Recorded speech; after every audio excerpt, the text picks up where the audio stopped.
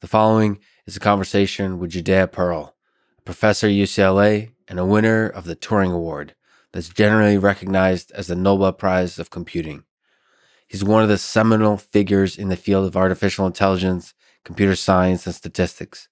He has developed and championed probabilistic approaches to AI, including Bayesian networks and profound ideas in causality in general. These ideas are important not just to AI, but to our understanding and practice of science. But in the field of AI, the idea of causality, cause and effect, to many lie at the core of what is currently missing and what must be developed in order to build truly intelligent systems. For this reason, and many others, his work is worth returning to often. I recommend his most recent book called Book of Why that presents key ideas from a lifetime of work in a way that is accessible to the general public. This is the Artificial Intelligence Podcast. If you enjoy it, subscribe on YouTube, give it five stars on Apple Podcast, support it on Patreon, or simply connect with me on Twitter at Lex Fridman, spelled F R I D M A N. If you leave a review on Apple Podcasts, especially, but also Castbox or comment on YouTube, consider mentioning topics, people, ideas, questions, quotes, and science, tech, and philosophy that you find interesting and I'll read them on this podcast. I won't call out names, but I love comments with kindness and thoughtfulness in them, so I thought I'd share them with you. Someone on YouTube highlighted a quote from the conversation with Noam Chomsky, where he said that the significance of your life is something you create. I like this line as well. On most days, the existentialist approach to life is one I find liberating and fulfilling. I recently started doing ads at the end of the introduction I'll do one or two minutes after introducing the episode and never any ads in the middle that break the flow of the conversation. I hope that works for you and doesn't hurt the listening experience. This show is presented by Cash App, the number one finance app in the App Store. I personally use Cash App to send money to friends, but you can also use it to buy, sell, and deposit Bitcoin in just seconds. Cash App also has a new investing feature. You can buy fractions of a stock, say $1 worth, no matter what the stock price is. Brokerage services are provided by Cash App Investing, a subsidiary of Square, a member SIPC.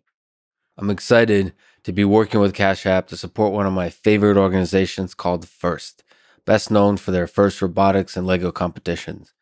They educate and inspire hundreds of thousands of students in over 110 countries and have a perfect rating on Charity Navigator, which means the donated money is used to the maximum effectiveness. When you get Cash App from the App Store or Google Play and use code LEX Podcast, you'll get $10 and Cash App will also donate $10 to First, which again is an organization that I've personally seen inspire girls and boys to dream of engineering a better world. And now, here's my conversation with Judea Pearl. You mentioned in an interview that science is not a collection of facts, but a constant human struggle with the mysteries of nature. What was the first mystery that you can recall that hooked you, that captivated Oh, your the first mystery. That's a good one.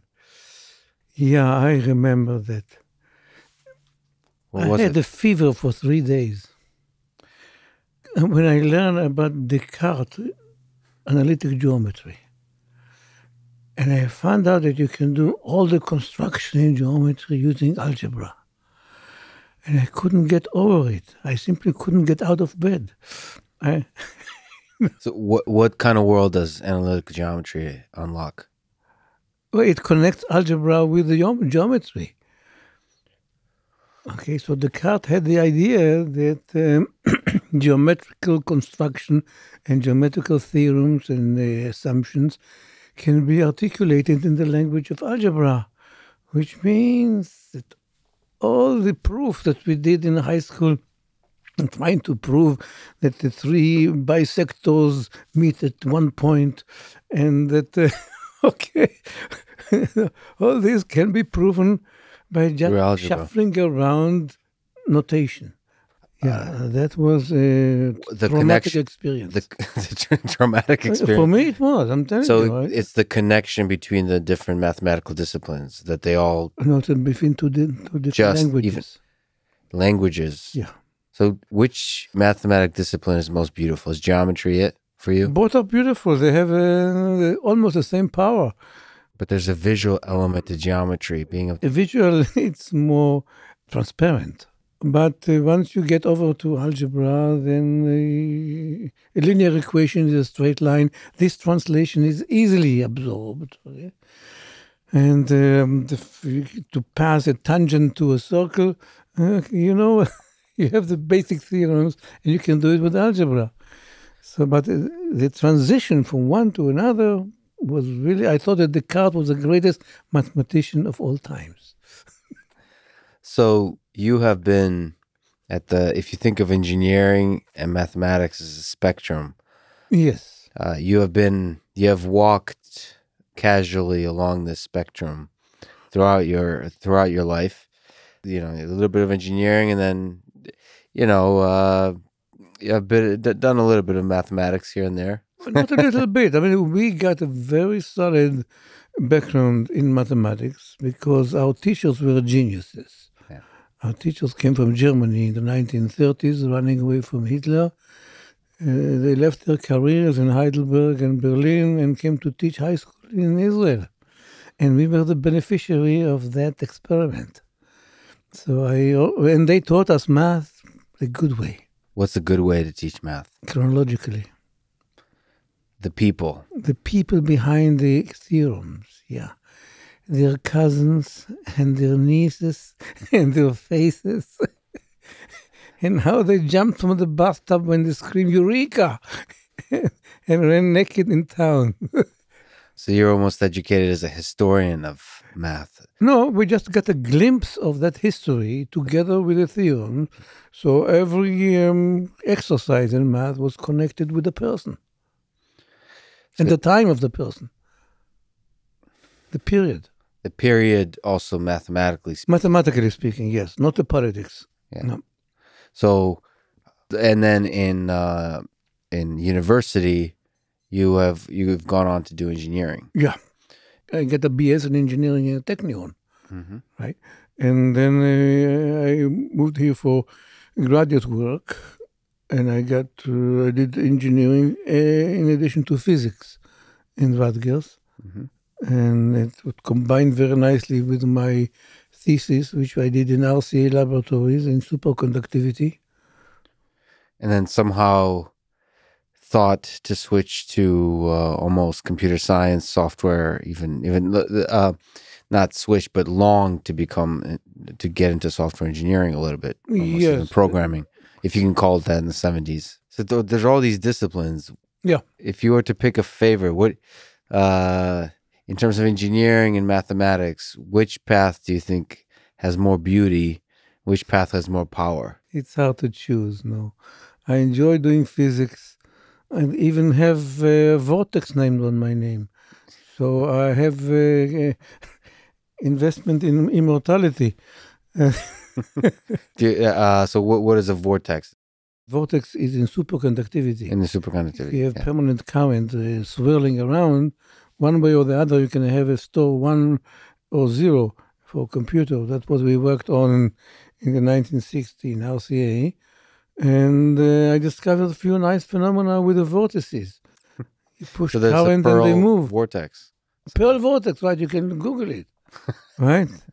I, I didn't know about it, but the physicist uh, picked up on my thesis, on my uh, PhD thesis, and uh, the um, it becomes popular. I mean, thin film superconductors became important for high temperature superconductors, so they called it uh, Pearl vortex without my knowledge. I discovered it only about 15 years ago. You have footprints in all of the sciences. So let's talk about the universe a little bit. Is the universe at the lowest level deterministic or stochastic in your amateur philosophy view? Put another way, does God play dice? Well, we, know it is stochastic, right? Because Today, today we think it is stochastic. Yes. We think because we have the Heisenberg uncertainty principle and we have some uh, experiments to um, confirm that. All we have is experiments to confirm it. We don't understand why. Why is already you wrote a book about why. Uh, yeah, it, it's a puzzle, It's a puzzle that you have the uh, dice uh, flipping machine or God, and the and the uh, result of the flipping propagate with a speed faster than the speed of light. Right. We can't explain it, okay? So, um, but it it only governs microscopic phenomena. So you don't think of quantum mechanics as useful No, uh, for It's understanding the nature of reality. it's diversionary. So, in your thinking, the world might as well be deterministic. The world is deterministic, and as far as the neural neuron firing is concerned, it, it is deterministic to first approximation. What about free will? Free will is also a, a nice exercise. Free will is an illusion that we AI people are going to solve. So, what do you think once we solve it, that solution will look like? Once we The put it in the page. will look like, first of all, it will look like a machine, a machine that acts as though it has free will. It communicates with other machines as though they have free will, and you wouldn't be able to tell the difference between a machine that does and a machine that doesn't have free will. Okay? So, the illusion, it propagates the illusion of free will amongst the other machines. And, and faking it is having it. Okay, that's what Turing test is all about. Yeah. faking intelligence is intelligent because it's not easy to fake. It's very hard to fake, and you can only fake if you have it. yeah. So That's such a beautiful statement. That's yeah, you could yeah. yeah, You you can't fake it if you don't have it. Yeah. so uh let let's begin at the beginning with probability uh, both philosophically and mathematically. What what does it mean to say the probability of something happening is 50%? What is probability? it's a degree of uncertainty that an agent has about the world. You're still expressing some knowledge in that statement. Of course, if the probability is ninety percent, it's absolutely a different kind of knowledge than if it is ten percent. but it's still not solid knowledge. It's It is solid knowledge, but hey, if you tell me that ninety percent assurance smoking will um, give you lung cancer in five years versus ten percent, it's a piece of useful knowledge. So the statistical view of the universe. Yeah. Why is it useful? So we're swimming in complete uncertainty. Most Yeah. of everything around. It allows you to predict things with a certain probability, and computing those probabilities are very useful. That's uh, the whole idea of, uh, of prediction. And you need prediction to be able to survive. If you cannot predict the future, then you're just uh, crossing the street will be extremely uh, fearful. And so you've done a lot of work in causation. And so let's let's think about correlation. I started with the probability. You started with probability. You've Yes. invented the Bayesian networks. Yeah. and so you know we'll we'll we'll, we'll dance back and forth between these levels of uh, Okay. uh, uncertainty. But what what is correlation? What is it? So probability of something happening is something, but then there's a bunch of things happening, and uh, sometimes they happen together, sometimes not. They're independent or not. So how do you think about correlation of things? Correlation occurs when two things vary together over a very long time, is one way of measuring it, or when you have a bunch of variables that they all vary cohesively. Um, then we call we have a correlation here. And usually, when we think about correlation, we really think causally. Things cannot be correlated unless there is a reason for them to vary together. Why should they vary together? If they don't see each other, why should they vary together? So underlying it somewhere is causation. Yes. Hidden in our intuition, there is a notion of causation because we cannot grasp any other logic except causation. And how does conditional probability differ from causation? So, what is conditional probability? conditional probability, how things vary when one of them uh, stays the same. Now, staying the same means that I have chosen to look only at those incidents where the guy has the same value as previous one. It's my choice as an experimenter. So things that are not correlated before could become correlated. Like, for instance, if I have two coins which are uncorrelated, okay, and I choose only those flippings experiments in which a bell rings, and a bell rings when at least one of them is a tail, okay, then suddenly I see correlation between the two coins because I only look at the cases where the bell rang.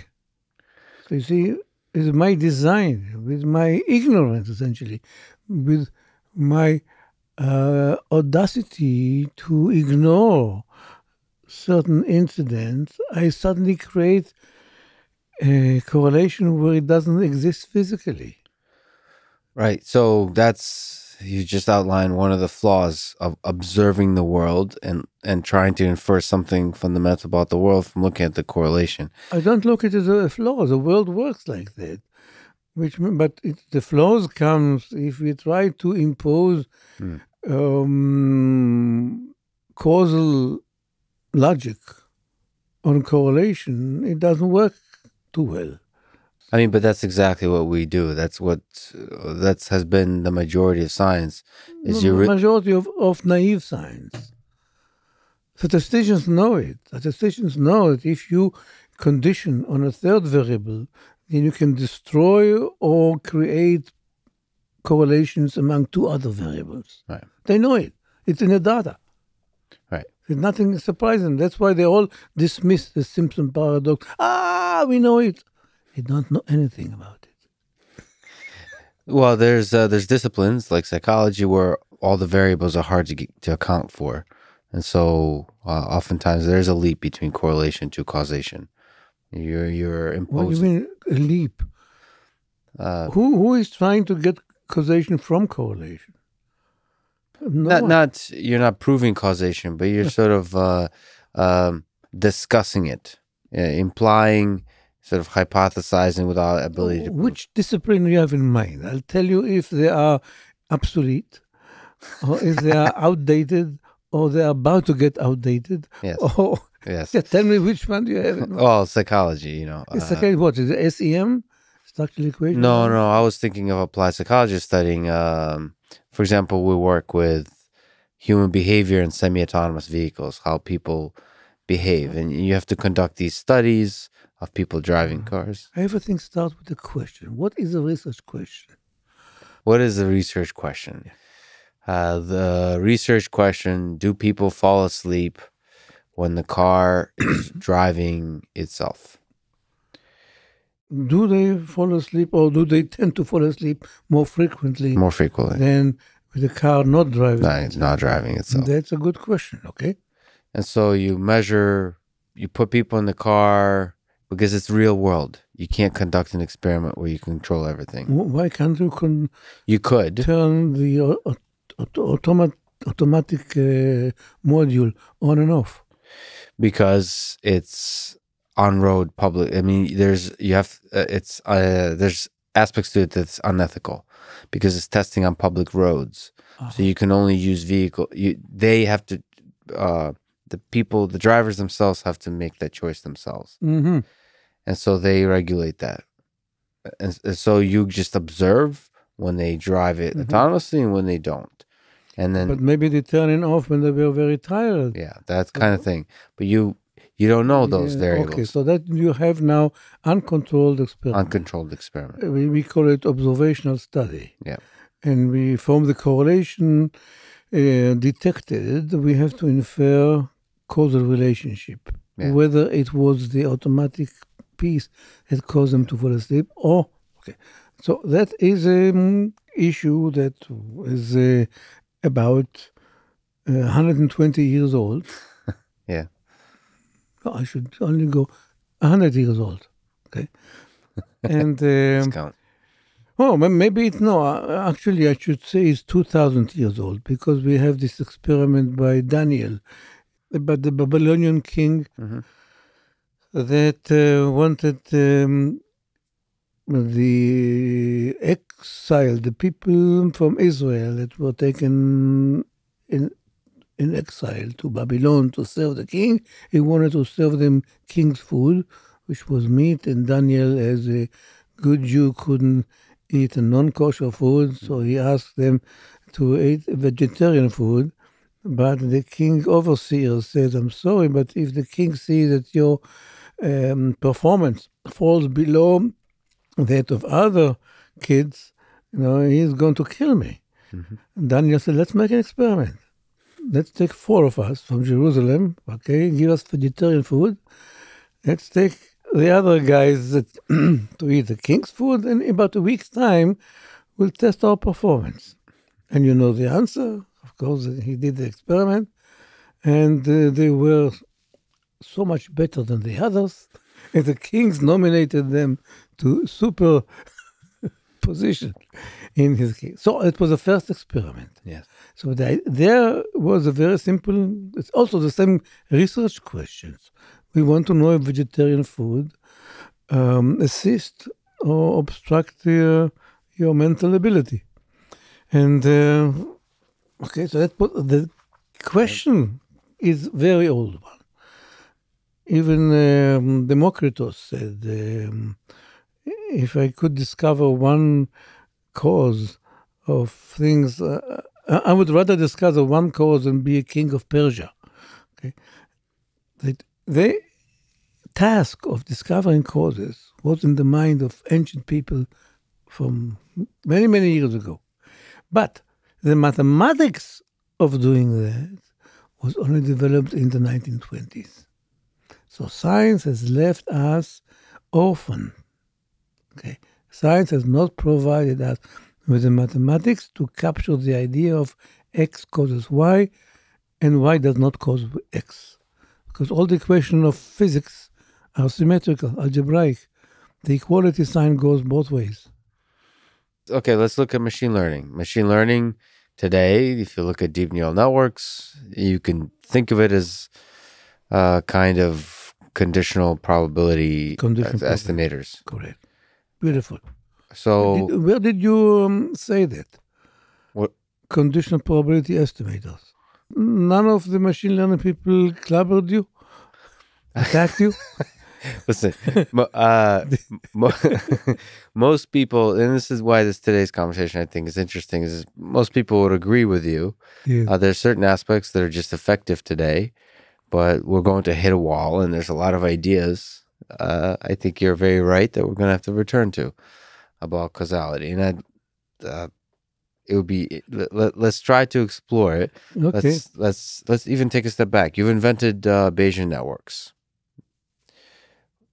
that look awfully a lot like they express something like causation, but they don't, not necessarily. So how do we turn Bayesian networks into expressing causation? How do we build causal networks? This A causes B, B causes C. How do we start to infer that kind of thing? we start asking ourselves question what are the factors that would determine the value of x x could be blood pressure uh, death um, hungry hunger But these are hypotheses that we propose. hypothesis everything which has to do with causality comes from a theory okay the difference is only what kind how you interrogate the theory that you have in your mind So it still needs the human expert to propose. All right. You need the human expert to specify Yeah. the initial model. Initial model could be very qualitative. Just who listens to whom? By whom listen to, I mean one variable listen to the other.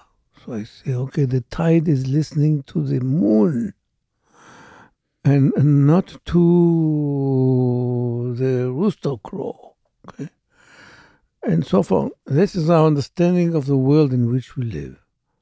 Scientific understanding of reality. We have to start there. Because if we don't know how to handle cause and effect relationship, when we do have a model, and we certainly do not know how to handle it when we don't have a model. So let's start first. In AI, slogan is representation first, discovery 2nd Mhm. But if I give you all the information that you need, can you do anything useful with it? That is the first representation. How do you represent it? I give you all the knowledge in the world. How do you represent it? When you represent it, I ask you, can you infer X or Y or Z? Can you answer certain queries? Is it complex? Is it polynomial? It- all the computer science exercises hmm. we do once you give me a representation for my knowledge. Then you can ask me, now I understand how to represent things. How do I discover them? It's a secondary thing. So first of all, we I, I should echo the statement that mathematics and the current much of the machine learning world has not considered causation that A causes B just in anything. So that that seems like a uh, that seems like a non-obvious thing that you you think we would have really acknowledge it, but we haven't. So we, we have to put that on the table. So um, knowledge how hard is it to create a knowledge from which to work In certain area, it's easy because we have only four or five major variables. Okay? And uh, an epidemiologist or an economist can put them down. Uh, what minimum wage, uh, unemployment, policy X, Y, Z, um, and start collecting data and quantify the parameters that were left unquantified with the initial knowledge. Okay, That's the routine work that you find in experimental psychology, yes in economics, everywhere, in the, in the health science. That's a routine thing. But I should emphasize, you should start with a research question. What do you want to estimate? Once you have that, you have to have a language of expressing what you want to estimate. You think it's easy? No.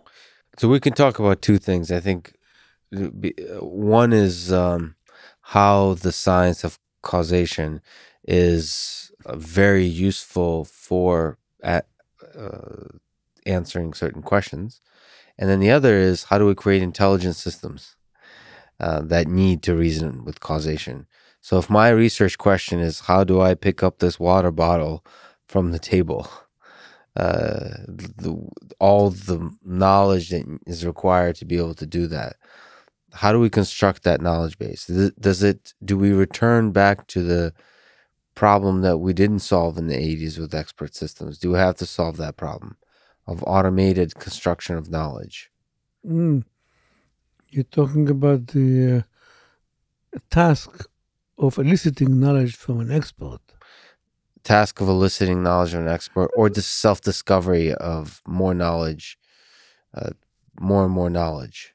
So automating the building of knowledge as much as possible. It's a different game in the causal domain because it, it's essentially the same thing. You have to start with some knowledge and you're trying to enrich it. But you don't mm-hmm. enrich it by asking for more rules. You enrich it by asking for the data, for to look at the data and quantifying and ask queries that you couldn't answer when you started. You couldn't because it, it the, the question is quite complex and it's not within the um, capability of ordinary cognition, of ordinary person, ordinary expert even, to answer. So, what kind of questions do you think we can start to answer? Even a simple. Suppose, uh, yeah, I start with easy one. Let's do it. Okay, what's the effect of a drug on recovery? Uh, did the aspirin that caused my headache to be cured? Or what is the television program? Or the good news I received? Um, this is already, see, it's a difficult question because it find the cause from effect. The easy one is find effect from cause. That's right. So first you construct a model saying that this is an important research question. This is an Yeah. important question. Then you you No, I didn't construct a model yet. I just said it's an important an question. important question. And the first exercise is express it mathematically. What do you want to do? Like, if I tell you what's the what will be the effect of taking this drug, okay, you have to say that in mathematics. How do you say that? Yes. Can you write down the question, not the answer? I want to find the effect of the drug on my headache. Right. Write down. Write, write it down. That's where the do calculus comes in. yes. do operator. Only do operator. Do operator. Yeah. You which is nice. It's the difference between association and intervention. Very beautifully sort of constructed. Yeah, so we co- we have a do operator. So the do calculus connected on the do operator itself connects the operation of doing to something that we can see. Right. So as opposed to the purely observing, you're making the choice to change a Yeah, variable. That's what it, it expresses. And then the way that we interpret it, and the mechan- mechanism by which we take your query and we translate it into something that we can work with, is by giving it semantics, saying that you have a model of the world and you cut off all the incoming arrow into X. And you're looking now in the modified, mutilated model, you ask for the probability of Y. That is interpretation of doing X. Because by doing things, you f- liberate them from all influences that acted upon them earlier, and you subject them to the tyranny of your muscles. So you you remove all the questions about causality by doing them. So you're now there's one level of questions. Yeah. Answer questions about what will happen if you do things. if you do if you drink the coffee, if you take the aspirin. Right. So how do we get the once? How do we get the doing data? Ah, now the question is, um, if we cannot run experiments, right, then we have to rely on observational studies. So first, we could sorry to interrupt. We could run an experiment Yeah. where we do something where we drink the coffee and don't, and this the the do operator allows you to sort of be systematic about expressing. To imagine how the experiment will look like, even though we cannot physically and technologically conduct it. I'll give you an example. What is the effect of blood pressure on mortality? Hmm. I cannot go down into your vein and change your blood pressure, but I can ask the question. Which means I can, if I have a model of your body, I can imagine the effect of your how the um, blood pressure change will affect your mortality. How I go into the model and I conduct this surgery about the blood pressure, even though physically I can do, I cannot do it. Let me ask the quantum mechanics question: Does the doing change the observation? Meaning, the surgery of changing the blood pressure is. Um, I mean, No, the kind of- surgery is uh, uh, called uh, um, very delicate, It's very delicate, infinitely delicate. incisive and delicate, which means do means uh, do X means I'm going to touch only X Only X. directly into X. So that means that I uh, change only things which depends on X by virtue of X changing. But I don't depend things which are not dependent on X. Like I wouldn't change your sex or your age. I just change your blood pressure. Okay. So, in the case of blood pressure, it may be difficult or impossible to construct such an experiment. So, No, but uh, physically, yes. But hypothetically, no. hypothetically, no. if we have a model, that is what the model is for. So you conduct um, surgeries on a model, you take it apart, put it back. That's the idea of a model. Yeah. It's the idea of thinking counterfactually, imagining, and that's the idea of uh, creativity.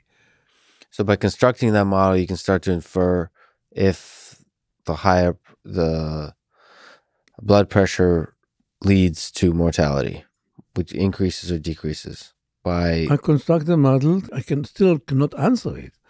I have to see if I have enough information in the model that would allow me to find out the effects of intervention from a non interventional study, from observation, hands off study. Right. So what's needed to You need that? to have assumptions about who affects whom. If the if the graph had a certain property, the answer is yes, you can get it from observational study. Mhm. If the graph is too meshy, bushy, bushy, the answer is no, you cannot.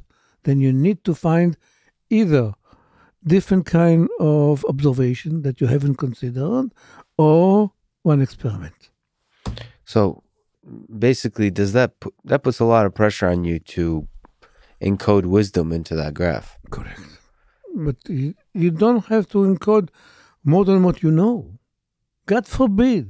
if you put the, like economists are doing that, they call identifying assumptions. They put assumptions, even they don't prevail in the world, they put assumptions so they can identify things. But the That's problem no- is, yes, beautifully put. But the problem is, you don't know what you don't know. So You know what you don't know. Because if you don't know, you say it's possible. It's possible that X affect the uh, traffic tomorrow. And I'm, it's possible. You put down an arrow which says it's possible. Every arrow in the graph says it's possible. so there's not a significant cost to adding arrows. That The more arrow you add, the better. the less likely you are to identify things from purely observational data. So if the whole world is bushy and every, everybody affect everybody else, the answer is you can answer it ahead of time. I cannot answer my query from observational data. I have to go to experiments.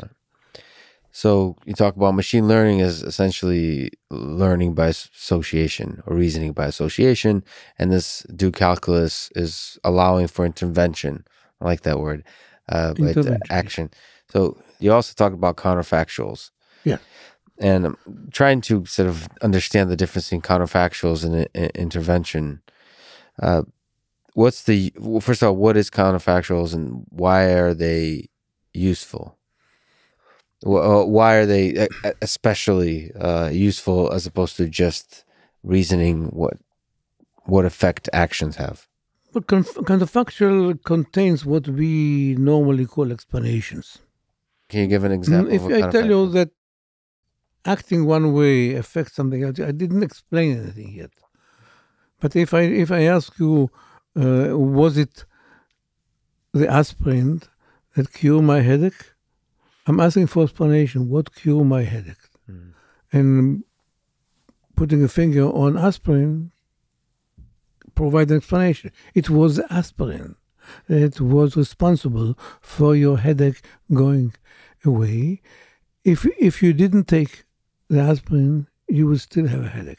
So by by saying if I didn't take aspirin, I would have a headache. You're thereby saying that aspirin is the thing that removes the headache. Yes, but uh, you have to have another important information. I took the aspirin, and my headache is gone. Okay. It's very important information. Now I'm reasoning backward, and I said, "Was it the aspirin?" Yeah. By considering what would have happened if everything else is the same, but I didn't take aspirin. That's right. So you That's know that fair. things took place. You know, Joe killed Shmo. Yeah. Okay, and Shmo would would be alive had John not used his gun. Right. Okay, so that is the counterfactual. It it, it conf- had a confliction. It had a conflict here or clash between observed fact that he, he did shoot, okay, and the hypothetical predicate, which says, had he not shot, you have a clash, a logical clash. They cannot exist together. That's a counterfactual. And that is the source of our explanation of our the idea of responsibility, regret, and free will. Yeah, so it certainly seems uh, that's the highest level of reasoning, right? It's yes, and physicists do it all the time. Who does it all the time? Physicists. Physicists.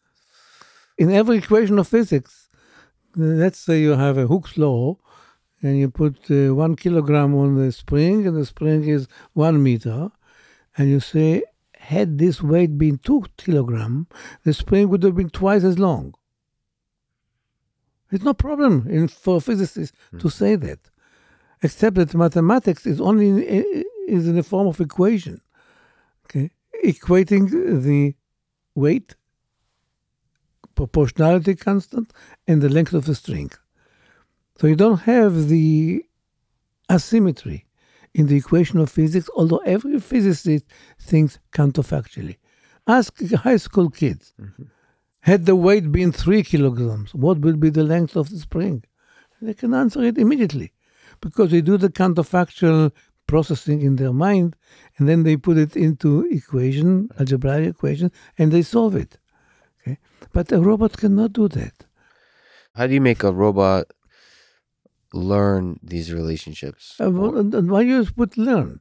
Suppose you tell him, can you do it? So before you go learning, yeah, you have to ask yourself. Suppose I give him all the information. Okay, can the can the robot perform the task that I ask him to perform? Can he reason and say, no, it wasn't the aspirin, it was the good news you received on the phone? Right, because well, unless the robot had a model uh, a, a, causal um, model of the world. Right, right. Like, I'm right. sorry I have to linger on this. But now we have to linger and we have to say, how do we, how do we do it? How do we build it? Yes. How do we build a causal model without a, a team of human experts no, uh, running around? Why don't, why don't you go to learning right away? You're too much involved with learning. Because I like babies. Babies learn fast. I'm trying yeah. to figure out how they do it. Okay. Good. So, yeah. That's another question. How do the babies come out with a counterfactual model of the world? Yep. And babies do that. Yeah. They know how to play with the, in the crib. They know which balls hits another one, mm-hmm.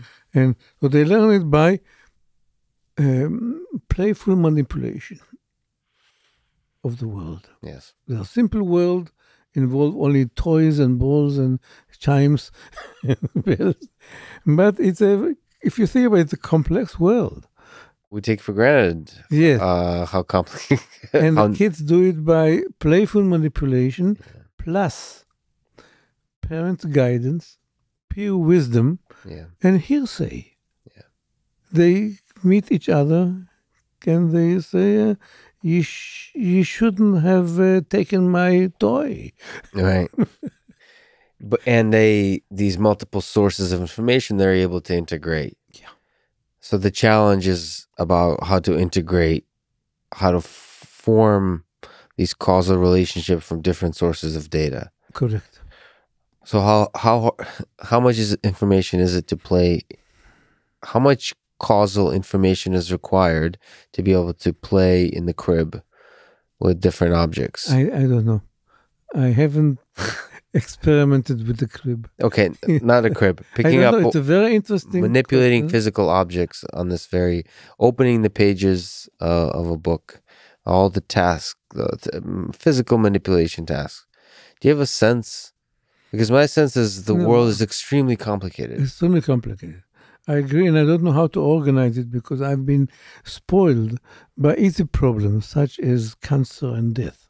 okay, and I'm, Yes, so first, we have to start no, but it's to, yeah. easy. It's easy in the sense that you have only uh, 20 variables. Yes. And they are just variables, are not mechanics. Yes. Okay, it's easy. You, you, just put them on the graph and they they they speak to you. yes. Yeah, and you you're providing a methodology for, for, for letting them yes. speak. Yeah, so I'm working only in the abstract. Yes. The abstract was knowledge in, knowledge out, data in between. Now, can we take a leap to trying to learn in this very, when it's not 20 variables, but 20 million variables, trying to learn causation in this world? Not learn, but no, somehow it, construct it, models. I mean, it seems like you would only have to be able to learn because constructing it manually would be too difficult. Do you have ideas of I think it's a matter of combining simple models from many, many sources, from mm. many, many disciplines, and many metaphors. Metaphors are the basics of human intelligence, basis. Yeah. So how, how do you think of about a metaphor in terms of its use in human intelligence? Metaphors is an expert system. An expert, it, it's mapping problem with which you are not familiar to a problem with which you are familiar. Mhm. Like, I'll give you a good example. The Greek believed that the sky is an opaque shell. It's not really out space, infinite space. It's an opaque shell, and the stars are holes Yeah. poked in the shell through which you see the eternal light. It was a metaphor. Why? Because they, are, they understand how you poke holes in shells. Okay? They're not, they were not familiar with infinite space. Okay? And so, and, and we are walking on a shell of a turtle. And if you get too close to the edge, you're going to fall down to Hades or whatever. Yeah. Yeah. Um, that's a metaphor. It's not true. But this kind of metaphor enabled Eratosthenes to measure the radius of the earth. Because he said, come on, if the, we are walking on a turtle shell, then a ray of light coming to this angle will be different. Uh, this place will be a different angle than coming to this place. I know the distance. I'll measure the two uh, angles, and then I have the radius of the shell of the of the turtle. Mhm. Okay, and he did, and he found his measurements were very close to the measurements we have today. To the uh, what six thousand and seven hundred seven hundred kilometers of the Earth. That's something that would not occur to Babylonian astronomer, even though the Babylonian experiments were the machine learning people of the time. They fit curves and they could predict the um, eclipse of the moon much more accurately than the Greek because they fit curve. Okay, uh, that's the difference in metaphor. Mhm. Something that you're familiar with, a game, a turtle shell. Okay, what does it mean? It, you are familiar. Familiar means that answers to certain questions are explicit. You don't have to derive them. And they were made explicit because somewhere in the past you've constructed a model of that. You Uh, you, you, you're familiar with, so the Yeah. child is familiar with billiard balls. yes. So the child could predict that if you let loose of one ball, the other one will bounce off. These are you, you obtain that by um, familiarity. Familiarity is answering questions, and you store the answer explicitly. You don't have to derive them. So this is the idea of a metaphor. All our life, all our intelligence is built around metaphors, mapping from the unfamiliar to the familiar. But the um, marriage between the two is a tough thing, which I, which we haven't yet been able to algorithmize. So you think of that process of of using metaphor to leap from one place to another. is- We can call it reasoning. Is it a kind of reasoning? It is a reasoning by metaphor, metaphorical Reasoning by reasoning, yeah. Do you think of that as learning? So learning is a popular terminology today in a narrow sense. It is, it is, it is definitely a So you may not. Okay, right. It's one of the most important learning. Taking something which theoretically is derivable Yeah. and store it in accessible format. I'll give you an example chess. Okay? Finding the winning, winning starting move in chess is hard. Mhm. But uh, uh, it, it, there is an answer.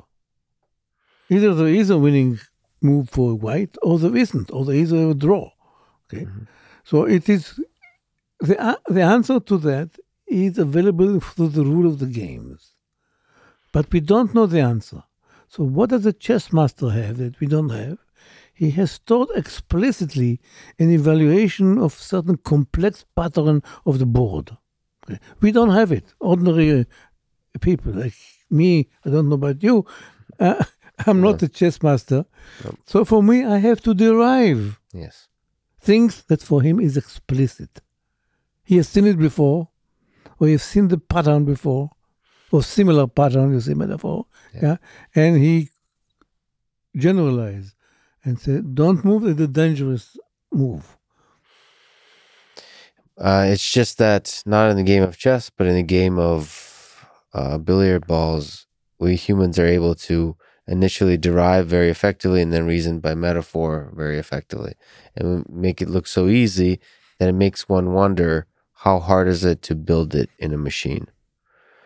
So, in, in your sense, uh, how far away are we to be able to construct? I don't know. I'm not a futurist. I can all I can tell you is that we are making tremendous progress in the causal reasoning uh, domain.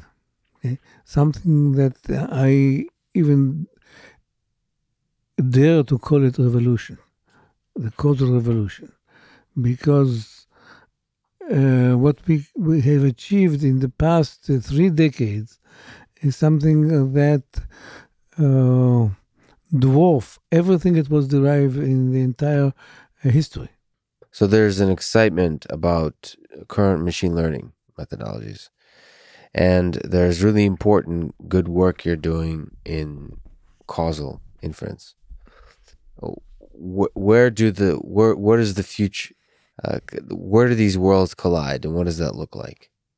Uh, First, they're going to work without collision.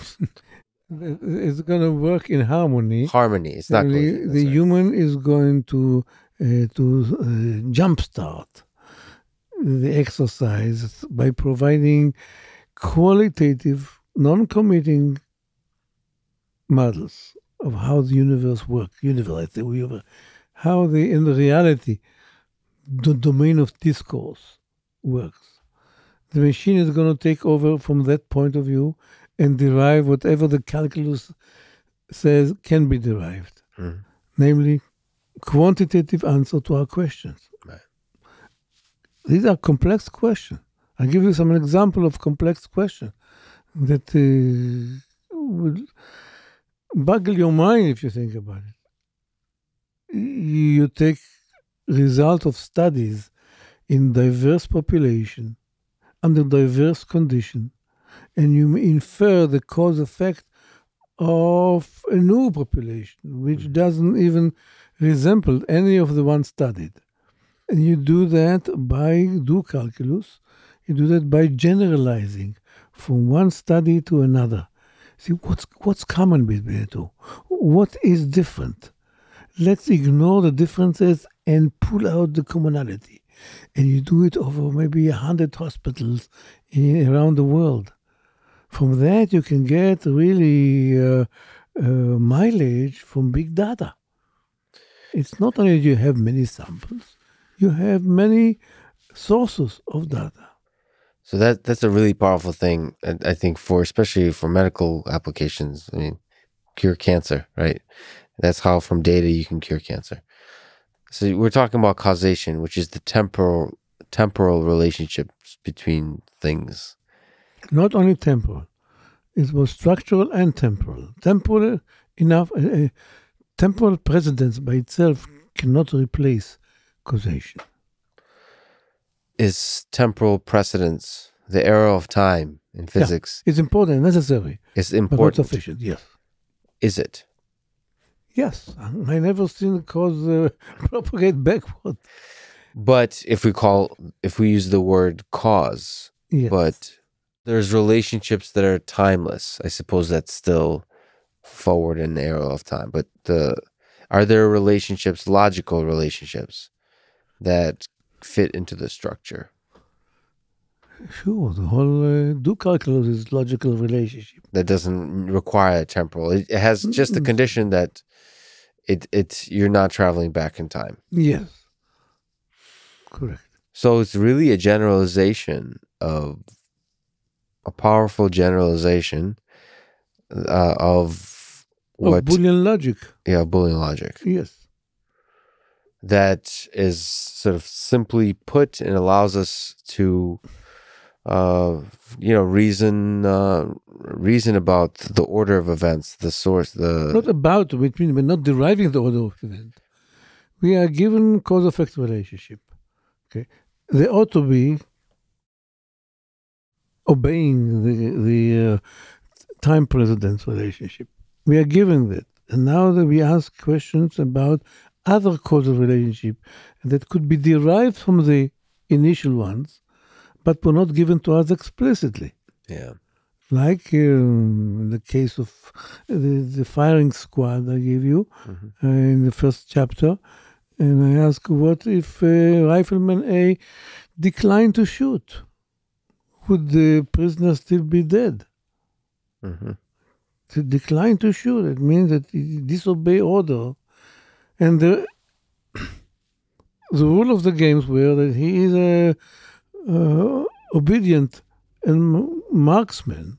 Mm-hmm. Okay, that's how you start. That's the initial order. But now you ask question about breaking the rules. So what if he decided not to pull the trigger? He just became a pacifist. And you can, you and I can answer that. Mm-hmm. The other rifleman would have killed him. Okay, I want a machine to do that. Is it so hard to ask a machine to do that? It's such a simple task. No. No, but, but you have to have a calculus for that. Yes. Yes. Yeah. But the curiosity, the natural curiosity for me is that yes, you're absolutely correct and important, and uh, it's hard to believe that we haven't done this seriously, uh, extensively already a long time ago. So this this is really important work. But I also want to know, you know, there's uh, maybe you can philosophize about how hard is it to learn Okay, let's assume learning. We want to learn it, okay? We want to learn. So what do we do? We put a learning machine that watches execution trials uh, in many uh, countries and many locations, okay? Mm-hmm.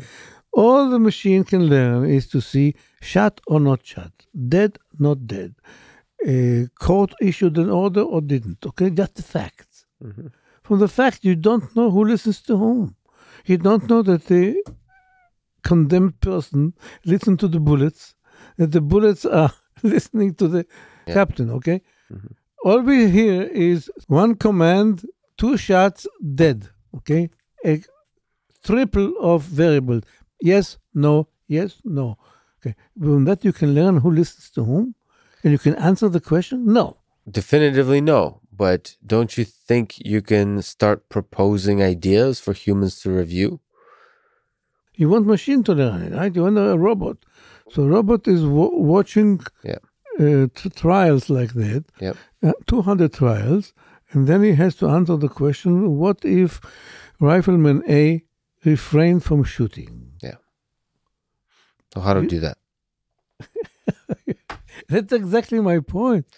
That looking at the facts don't give you the strings Absolutely. behind the facts. Absolutely. But do you think of machine learning as it's currently defined as only something that looks at the facts and tries right now they only look at the facts yeah. so is there a way to modify yeah. in, in your sense? Playful you, manipulation. Playful manipulation. Yes. Once Do, doing while, the interventionist kind of thing yes. intervention. But it, it, could be at random. For instance the mm. rifleman is sick that day or he just uh, vomits or whatever. So machine can observe this unexpected event, which introduce noise. The noise still have to be uh, random to be able to um, uh, relate it to randomized experiment. And then you have a um, observational studies from which to infer the strings behind the facts. Mm-hmm. It's doable to a certain extent. But now that we are expert in what you can do once you have a model, we can reason back and say what you kind of data you need to build a model. Got it. So I know you're not a futurist, but are you excited? Have you, when you look back at your life, long for the idea of creating a human level intelligence oh, system? Yeah, I'm, I'm driven by that. All my life, I'm driven just by one thing but I go slowly. I go from what I know to the next step incrementally. So without imagining what the end goal looks like, do you imagine what an and the end goal is going to be a machine that can answer sophisticated questions, counterfactuals, regret, compassion, um, responsibility, and free will. so what is a good test? Is a Turing test It A reasonable for test. free will doesn't exist yet. Uh, there's no how would you test free will? Uh, that's Uh, uh, so far, we know only one thing. I mean, if robots can communicate with reward and punishment among themselves, and hitting each other on the wrist and say you shouldn't have done that, Mhm. okay, um, playing better soccer because they can do that, what do you mean because they can do that? because they can communicate among themselves. Because of the communication they can do because they communicate like us. Yeah. reward and punishment. Yes you didn't pass the ball the right the right time and so forth. Therefore you're going to sit on the bench for the next two eh, if they start communicating like that the question is will they play better soccer? As opposed to what? As opposed to what they do now. Without this ability to reason about uh, reward and punishment responsibility and it, uh, so far i can only think about communication communication is and in, in not necessarily natural language but just communication No, just communication. And that's important to have a quick and effective means of communicating knowledge. If the coach tells you you should have passed the ball, ping, he conveys so much knowledge to you as opposed to what? Go down and change your software? That's the alternative. But the coach doesn't know your software. Right. So how can a coach tell you you should have passed the ball? But that our language is very effective. You should have passed the ball. You know your software. You tweak the right module, okay, and next time you don't do it. now that's for playing soccer where the rules are well defined Oh, no, no, no, no. Well, they're not well defined. When you should pass the ball, It's not well defined. No, it's uh, it's Yeah. very soft, well, very It's- noisy. yeah. Yes, you have to do it under pressure. it's art uh, but uh, in terms of aligning values between computers and humans do you think this cause and effect uh, type of thinking is important to align the values values morals Hmm. ethics under which the machines make decisions is Yeah. is the cause effect where the two can come together Cause and effect is necessary component eh. to build a uh, ethical machine. Because the machine has to empathize, to understand what's good for you, to build a model of your, of you as a recipient, which should be very much what what is compassion. They imagine that you suffer pain as much as me. as much as Okay? me I do have already a model of myself, right. So it's very easy for me to map you to mine. I don't have to rebuild the model. It's much easier to say, "Oh, you're like me." Okay, therefore I would not hate you. and the machine has to imagine uh, has to try to fake to be human essentially so you can imagine that you're that you're like me right And moreover, who, who is me? That's the first. That, that's consciousness. They have a model of yourself. Where do you get this model? You, look at yourself as if you are a, a part of the environment.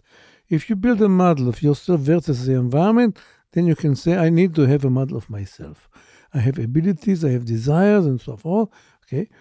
I have a blueprint of my software, not the full detail because I cannot get the halting problem. Right. Uh, but I have a blueprint.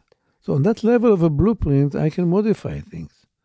I can look at myself in the mirror and say, hmm, if I change this, tweak this model, I'm going to perform differently. That is what we mean by free will. and consciousness And Or do- consciousness.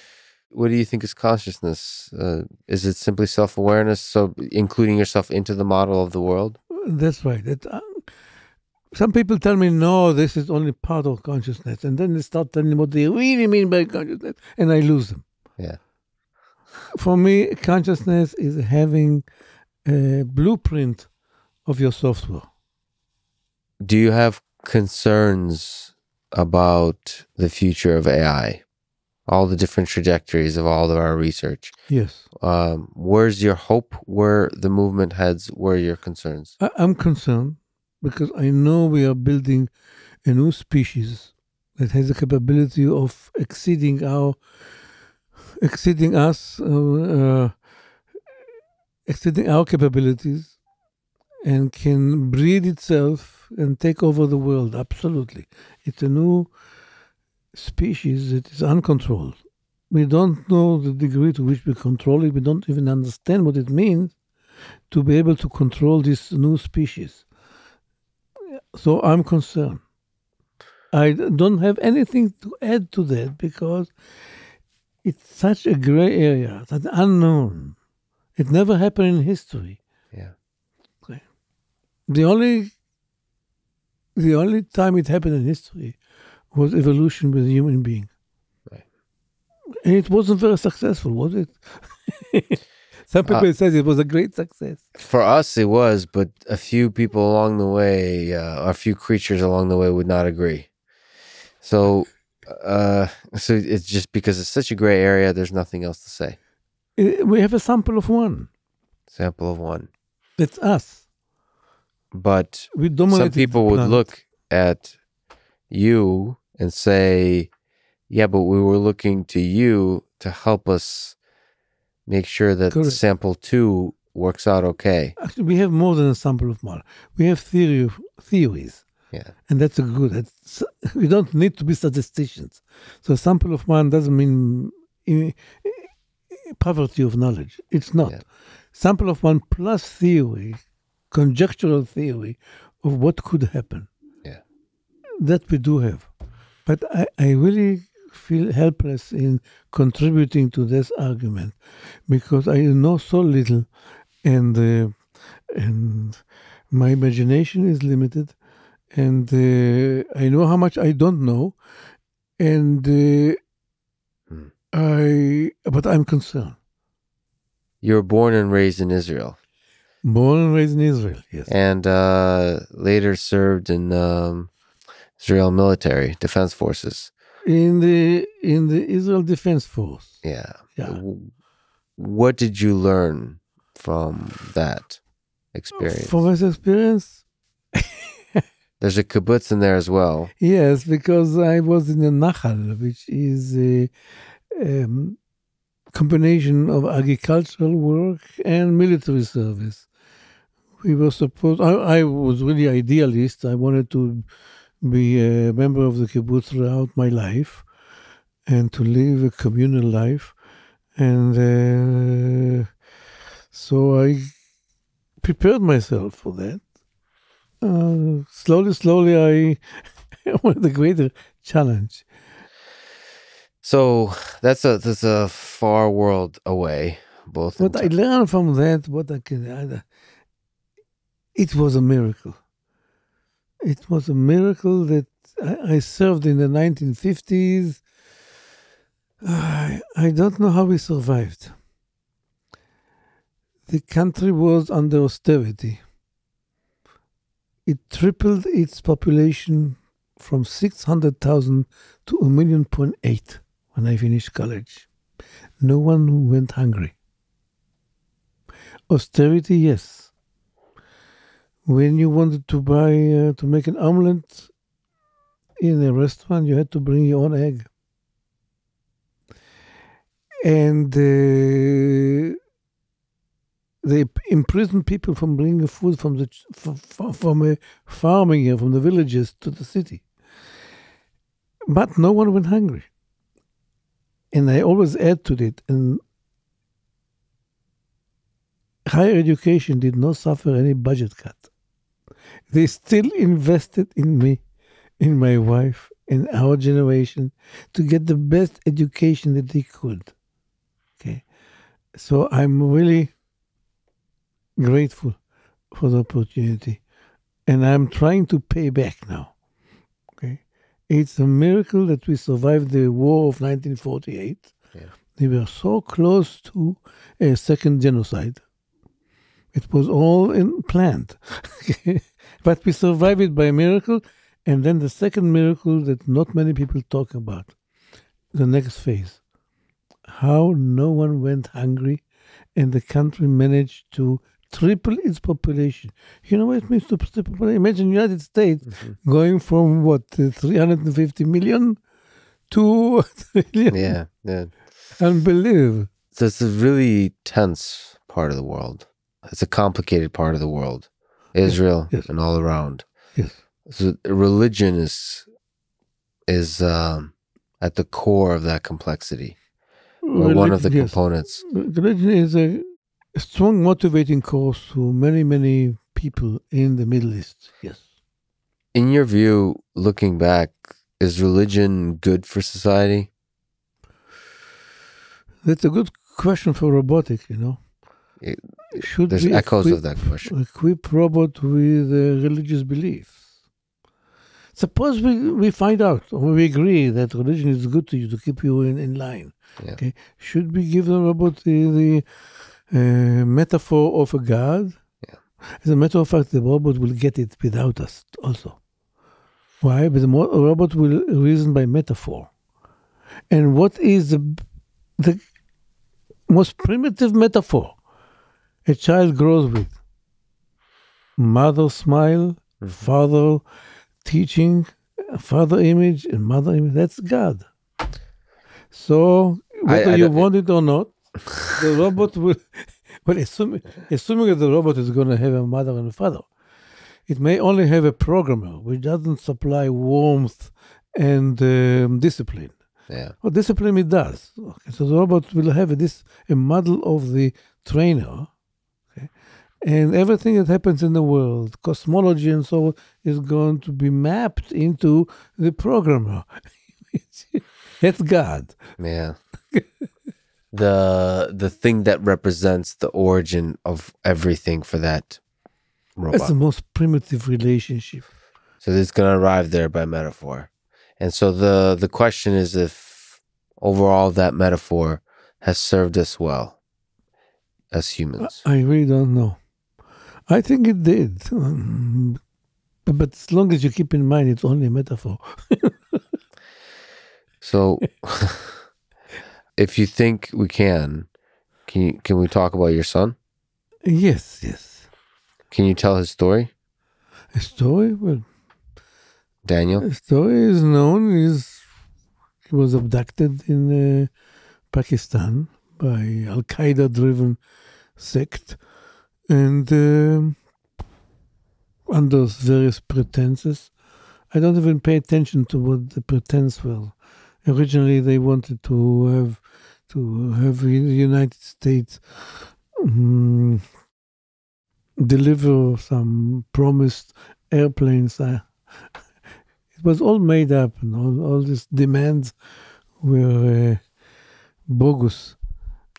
I, I don't know really, but uh, eventually he was uh, executed in front of a camera.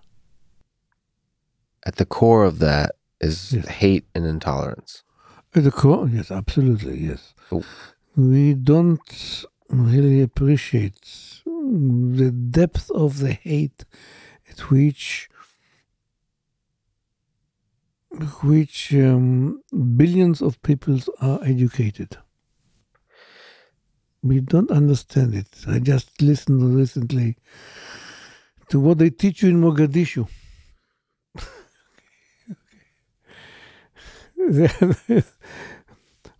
when when the water stopped in the tap, hmm we knew exactly who did it. The Jews. The Jews. We didn't know how, but we knew who did it. We don't appreciate what it means to us.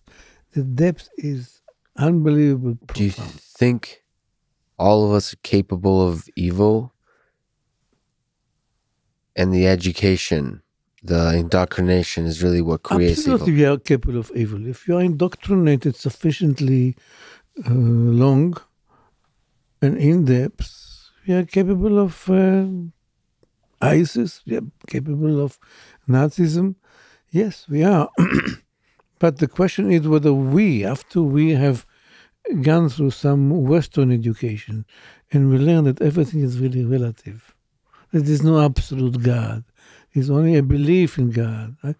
Whether we are capable now of being transformed under certain circumstances to become uh, brutal. Yeah. That is a. I, I'm worried about it because some people say yes, given the right circumstances, given uh, uh, economical bad economical crisis, okay, you are capable of doing it too, and that worries me. I I want to believe it. I'm not capable. This is seven years after Daniel's death. He wrote an article uh, at the Wall Street Journal titled "Daniel Pearl and the Normalization of Evil." Yes. What was your mass- message back then, and how did it change today over over the years? I I lost. What was the message? The message was that uh, we are not treating terrorism as a taboo. We are treating it as a bargaining device that is accepted. People have grievance and they go and, sh- and uh, bomb restaurants. Okay, it's normal. Look, you're even not not surprised when I tell you that. Yeah. Twenty years ago, you say, "What for grievance? You go and blow a restaurant?" Today, it's becoming normalized. The banalization of evil, and we have created that to ourselves by normalizing, by uh, by making it part of uh, political life. It's a political uh, debate. Every terrorist yesterday becomes a freedom fighter today, and tomorrow it becomes a terrorist again. It's switchable. Right, and so you, we should call out evil when there's evil. We, if we don't want to be part of it, Become it. if we want, if, yeah, if we want to separate good from evil, that's one of the first things that. Uh, uh, what was the in the Garden of Eden? Remember the first thing that God tells him uh, was, "Hey, you want some knowledge? Here is a tree of good and evil." So this evil touched your life personally. Does your heart have anger, sadness, or is it hope? Okay, I see some beautiful people coming from Pakistan. I see beautiful people everywhere, but I see horrible propagation of evil in this country too. It shows you how populistic slogans can catch the mind of the best intellectuals. Today is Father's Day. I didn't know that. Yeah. No, I I- heard it. uh, what's uh what's what's a fond memory you have of Daniel? Oh, many good memories. Ah, immense. He was my mentor, William. He had um, a sense of balance that I didn't have. Yeah. He saw the beauty in every person. He was not as emotional as I am, more looking at things in perspective. He really liked every person. He really grew up with the idea that a foreigner is a reason for curiosity, not for fear. At one time we went in Berkeley and a homeless came out from some dark alley and said, Hey man, can you spare a dime? I retreated back, you know, two feet back. And then I just hugged him and said, Here's a dime, enjoy yourself. Maybe you want some, some um, money to take a bus or whatever. Where did he get it? Not for me. Do you have advice for young minds today dreaming about creating, as you have dreamt, creating intelligent systems? What is the best way to arrive at new breakthrough ideas and carry them through the fire of criticism and and past conventional ideas? Ask your questions. Freely. your questions are never dumb and solve them your own way. okay. And don't take no for an answer. Look, if they're really dumb, you will find out quickly by trying an arrow to see that they're not leading any place. But follow them and try to understand things your way. That is my uh, advice. I don't know if, if it's going to help anyone. No, that's brilliantly. I, there is a lot of uh, it's inertia in science, in academia. It is slowing down science. yeah, those two words, your way, that's a powerful thing. And It's against inertia, potentially, against the flow. against your professor. Against your professor. I, I wrote the book of why Yeah. in order to democratize common sense, in order to instill rebellious spirit in students so they wouldn't wait for until the professor get things right. the so you wrote the manifesto of the rebellion against the professor. Against the professor, yes. so looking back at your life of research, what ideas do you hope ripple through the next many decades? What what do you hope your legacy will be? I already have a tombstone uh, carved. oh boy. The, fundament, the fundamental law of counterfactuals. That's what it's. A, it's a simple equation. What counterfactual in terms of a model surgery. Mm-hmm. That's it, because everything follows from that. If you get that, all the rest, I can die in peace, and my student can derive all my knowledge by mathematical means. the rest follows. Yeah. Dan, thank you so much for talking today. I really appreciate it. Well, thank you for being so attentive and uh, instigating. we did it. We did it. The coffee helped. Thanks for listening to this conversation with Judea Pearl. And thank you to our presenting sponsor, Cash App. Download it, use code LEX Podcast. You'll get $10, and $10 will go to First, a STEM education nonprofit that inspires hundreds of thousands of young minds to learn and to dream of engineering our future. If you enjoy this podcast, subscribe on YouTube, give it five stars on Apple Podcasts, support on Patreon, or simply connect with me on Twitter. And now, let me leave you with some words of wisdom from Judea Pearl. You cannot answer a question that you cannot ask, and you cannot ask a question that you have no words for. Thank you for listening, and hope to see you next time.